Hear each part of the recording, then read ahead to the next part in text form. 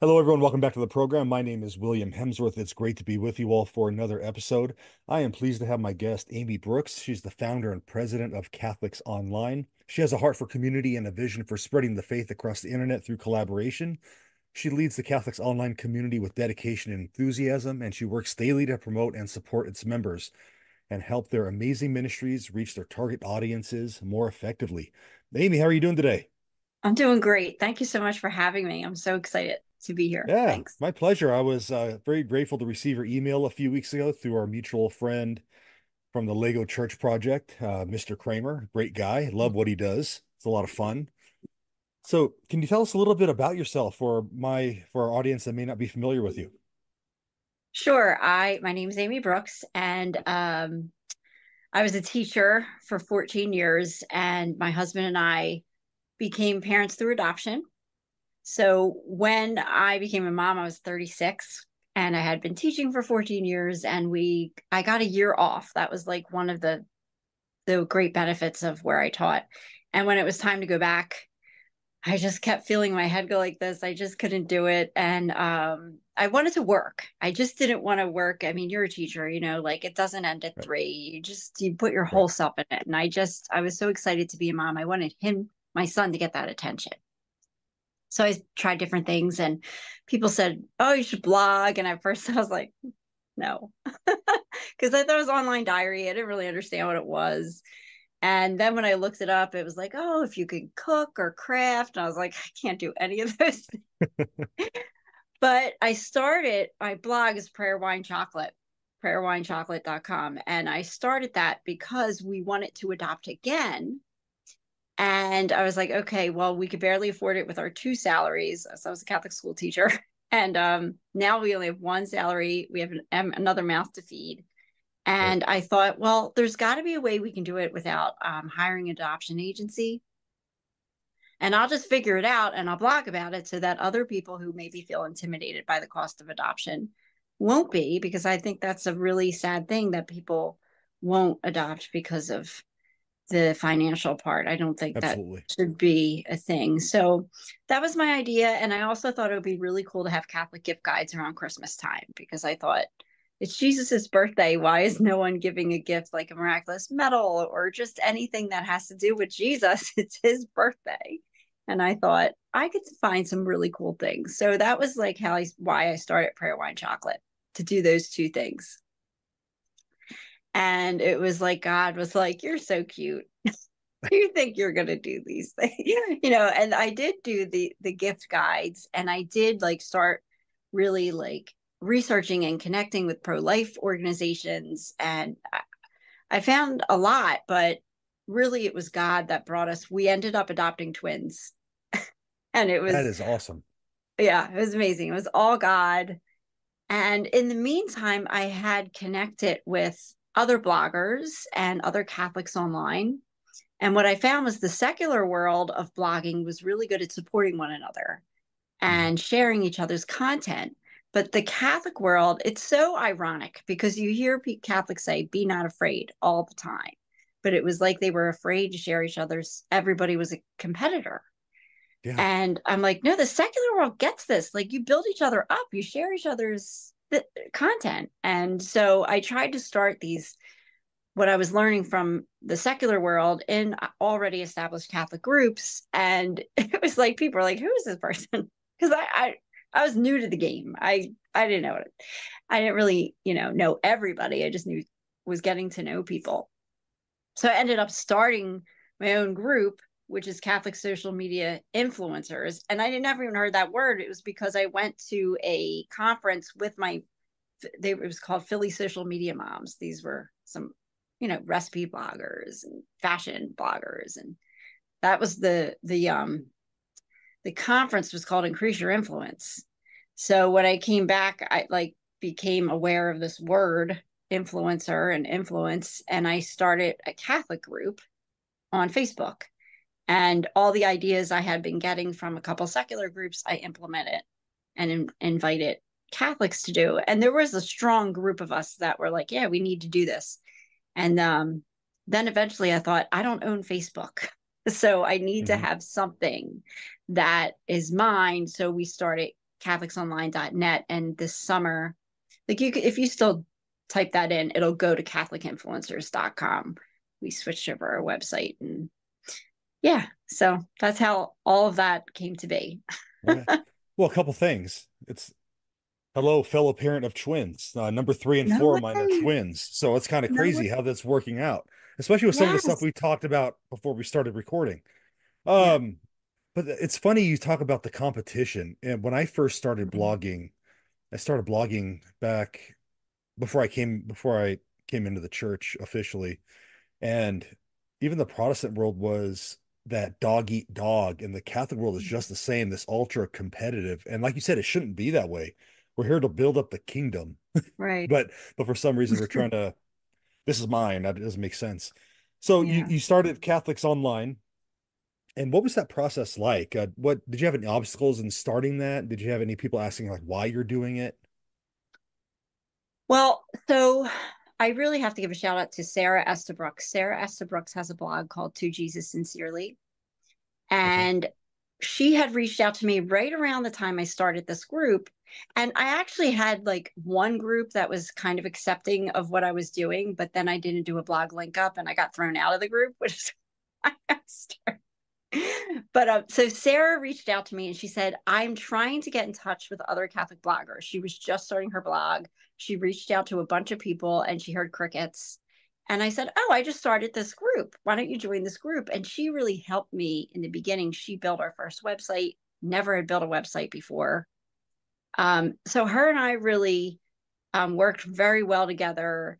And we had like a solid 20 people that just got it so um, really, the community is the the beginning, but the website I thought was I was like, well, people need to know where to find us. You know, what if somebody's just searching for cat, some kind of Catholic inspiration? And um, again, it was like, well, also I'll own this. So if anything happens with Facebook, I have something else. Um, yeah. So I think a lot of people got it.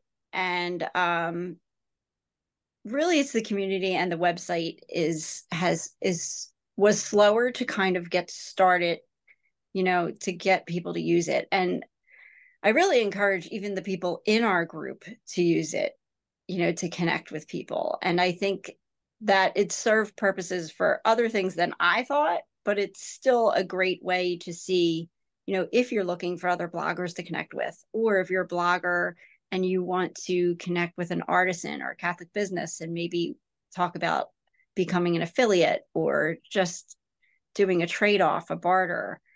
Um, and you know now and we also have we have sections for speakers and ministries as well so it's really you know become we had like one or two people join that they were catholic but they were like a realtor but we've narrowed our focus. Like i believe this platform is people who are consciously trying to spread the light of christ online. Or with a business and they use online. So we have like scott williams from sock religious. Like he owns catholic business but it's very evan like based on evangel i don't know if i'm saying the right word but it's based on evangelization you know? Mm-hmm.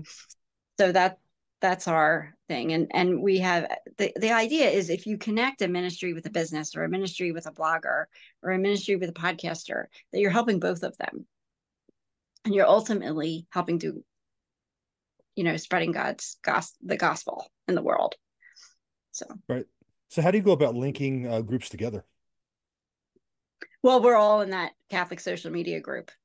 The artisans right. the speakers the ministries everybody who runs a platform that is in the membership is in that Facebook group. So um, we do Instagram threads, like, you know, just drop your Instagram, leave some comments, share it in some stories if it moves you. We do like a regular thread. But we also like have some podcasters that have other people on their podcast. Um, I do a lot of gift guides to get the different artisans and businesses on something like first communion gifts. And then I throw, you know, 17 businesses in one guide or whatever. Okay. We find ways. We actually have virtual meetups, which is how I heard about you. We had just a virtual Zoom meeting with about eight of us talking and how do you make different connections. And John from the Lego project said, oh well I, the bible catholic i've been on his a couple times and he spoke highly of you and i reached out to you so we just help each other network in different ways okay can you give us an example i know this is a loaded question and i don't want to make you feel like you're leaving someone out by asking this but what are some examples of the people or businesses that you've um, you have on your on catholic influencers oh no absolutely so Sterling Jaquith is a Catholic coach. She focuses really on women. She's a convert too, and she has a couple podcasts. And so she's been in our group for a while, and she started a Catholic coaching business. And Christy Walker, who was a blogger and writer, is now the Catholic sobriety coach, and she has the Catholic sobriety podcast. So Christy says to me all the time, if it wasn't for your group, I would have never met Sterling, and she changed my life. Wow. So Sterling coached her. Now she does this whole Catholic sobriety podcast ministry. So that's like one connection that happened. Um, we have this man, Greg Johnson, in our group. Him and his wife own the Little Catholic Box. And he has also started this um, email magic. He really helps with people writing their email newsletters and keeping customers and getting repeat customers. So a lot of people in our group have got connected with him because he was in our group and I interviewed him. We have like talks like this, kind of we call them tip talks in the group. Okay. Um, yeah, Emily Ricci, she's a marketing, uh, Catholic marketing network. She is a uh, Gloria Marketing is her business, and she helps with marketing. So I connect people with her. She's incredible. She really helps me because I don't have a business background. You were saying you teach business to middle schoolers. I know nothing. I had to take a business class in college, and it I thought it was going to be simple and it was confusing to me. so it's really helpful for people like me that just started these like at home jobs because they were mothers to get connected with people that understand networking and marketing and advertising and just technology. So, right. I was looking on your website and you have different um, membership tiers, I guess you would call it. Can you go over those for us and what some of those benefits are? Yeah, so we used to just have the yearly one, but we um changed it up this summer. And really that's the best. The annual membership is the best because life is crazy busy. So mm-hmm. One month it might be a little more active in a group than another, but I'm always very conscientious of people's budgets. So I wanted to offer the monthly option. So I think the monthly option is like $25 a month. But if you go annual, you are spending less than $25 a month. Uh, one thing we've done the past two years, which I'm praying, do me a favor, keep it in your prayers, is we do this huge Christmas catalog. And um, we get we make it digital so that you could just click on the gift and and be in the shop and purchase the Catholic gift. But we also have an option where you can print it out because I'm of the generation where the Sears catalog would come home and that feeling of nostalgia to write your Christmas list, it, it gives me chills. It's just such a joyful memory. And now we do get the Amazon catalog, we get a Target catalog, and my vision, and I think I shared this with Sarah, Mary Claire helped me. She has 12th and Blossoms, her business. She designed it last year. It's phenomenal. Is to have this in our homes so that when people are you know the amazon catalogs coming in and the target catalog and the kids are making their list that there's this other option because um, we live in a golden age of catholic gifts you know there are catholic toy makers that are i mean their stuff is great mm-hmm. And um, like one member is maggie. She has a saintly heart and she's actually a i think she's an occupational therapist or a speech therapist. So her toys are not only Catholic, but they will help children with fine motor skills and speech and awesome. it, i mean there's just phenomenal things out there that catholic families could have to teach the faith to their children to decorate their homes in a way that's modern but centered on faith you know we our homes are a domestic church and yeah. um and christmas is jesus's birthday so we really can have i mean there's so many with i guess with the dawn of etsy really allowed people to tap into their God given talents and create gifts and shirts and just it, you name it, that that glorify God and are useful are things that are useful. You hmm. know. So we want to get that in the homes. My vision this year is to contact parish pastors and say, can you put this, put some of these in the back of your church? So what, when Amazon catalogs and Target catalogs are being delivered at homes, families can pick these up and have them on their dining room table as well. Yeah. Or even a, what you said, because you said it was digital, even a link that's yeah. sent out by the religious education department, you know, something like that to yeah. the families. There's a lot of things you can do. Like I said, so many great things out there. It just blows me away whenever I come across something and I'm so thankful for everyone doing that and following following their gifts and their passion and following the leading of the Holy Spirit. So what would you say to someone who is maybe listening, maybe who has that gift, but they're like terrified to even start. They don't know where to begin. They feel alone, I guess. What, what would you say to them? Well, yeah, that's the thing about feeling alone and i think that's why i'm so glad god allowed me to allows me to do this because you're not alone and you join our group. I will introduce you to many people.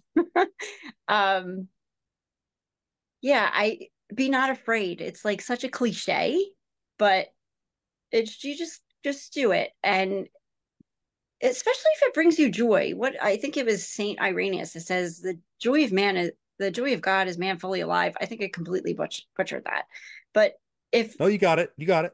okay. like if writing brings you joy, right? If creating something brings you joy, do it and share it. You'll be surprised how many people, I mean, it, I enjoy this work. You know, be, I found, like I said, I have found other jobs that were work from home. I graded SATs that stressed me out, the SAT essay.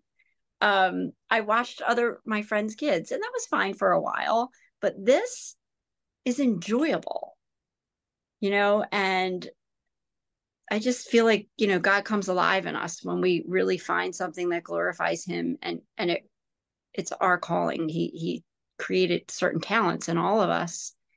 And to see these talents come alive and and the variety of ways that people are able to do it. I mean, you could do it and you, if it doesn't work out, then you stop. Right. You know, you're not committing your whole life to just trying it. Give it a try. And what's great now is you don't have to buy a website. You just start an Instagram account. that's free. You know, I, I would go that route because Facebook is so it's really um, you know, I don't think anybody sees anything you post. you know, it's it's very difficult with the algorithms, but Instagram still seems like something if you have a creation and you want to share it. Or YouTube. Mm-hmm. I seem to hmm. get more traction on stuff with TikTok, and I know people have their issues with TikTok. Yeah, but but I seem to get if I post just an example yesterday, I posted a video yesterday, got a thousand views. I posted on Instagram, it had 50. Mm-hmm. and sometimes it's flip flopped. You just never know. Right. But, if you're com- so I looked at TikTok once and I'm like, I'm dizzy. It's so fast. but it is the number one, you know, if you're comfortable with TikTok, if you're on TikTok anyway, you might as well put God's light on there because I'm sure 100% God, it needs more of God's light. Um, but it, yeah, it depends on what you're comfortable with. I think TikTok's probably the best, but I just can't get myself. I can't get myself over there. But if you put no. this on, great, thank you. yeah, Insta- Instagram Instagram's great too. I, I, mean, I'm pretty much on mm-hmm. all of them, and it freaks my students out when I say, "Yeah, I use TikTok." I'm like, what? No, that's where the kids are, guys. Let's be honest. That's where they're right. at. So if we want to evangelize right. that next generation, we gotta get out of our some of us have we have to get our comfort zone a little bit. Yeah. So I'm on your I'm on, looking on your website. Um again, where our guest is Amy Brooks of CatholicInfluencers.com. Um, of course, you have your blog on there. You post some good articles there. You have a listing of your services. Now, to become a member, you have to apply. Can you explain that application process for us? Basically, when you're applying, you're putting all your information that's going to be on your listing because each person that applies is on our directory. So, but we do ask, are you a practicing Catholic? Like, we want people to to understand that this is a Catholic website. We are a Catholic community. And if that doesn't float with you, then don't bother, you know, kind of.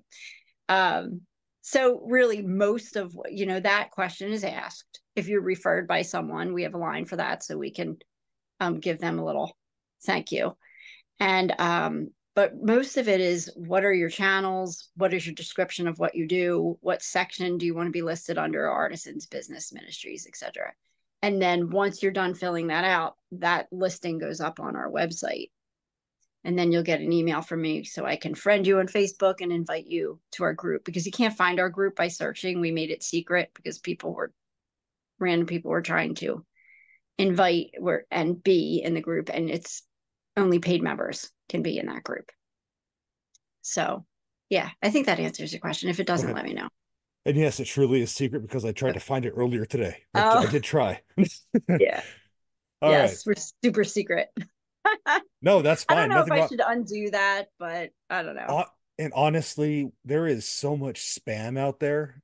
Um, I know with, with the four persons, for example, I'm, I'm an admin on there.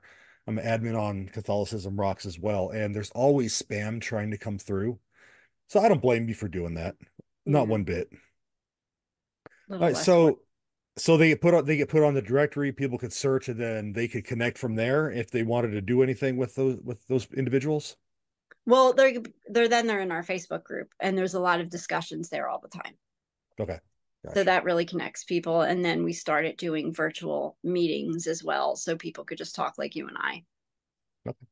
So, what have you learned through this whole thing of setting this up and getting this group together? What have you learned personally about it? About just togetherness, ministry, all that good stuff? God is in control and God will never be outdone in generosity. Love I it. would say the two things. Yeah. Great.